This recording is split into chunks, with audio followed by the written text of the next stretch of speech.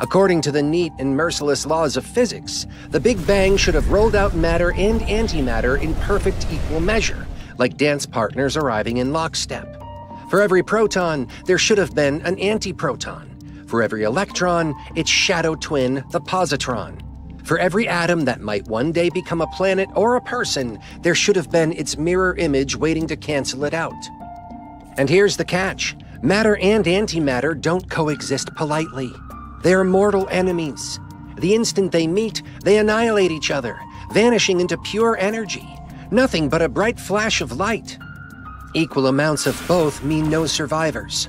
No stars burning in the darkness, no galaxies swirling across space, no Earth, no trees, no coffee mugs, no us. Just a cold, empty universe lit once by a brief, violent glow and then silence forever. But clearly, that's not what happened.